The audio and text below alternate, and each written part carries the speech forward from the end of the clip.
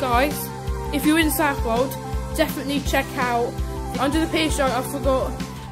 Definitely check out the Under the Pier Show. They have amazing machines made by one guy called, I think it's Chris Hutchin. I'm sorry for the pronunciation, I forgot what his name was, but definitely check out these machines.